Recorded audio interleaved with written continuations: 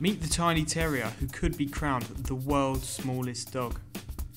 Little Maisie is 7 centimetres tall, 12 centimetres long, and weighs just 250 grams, only slightly heavier than a hamster.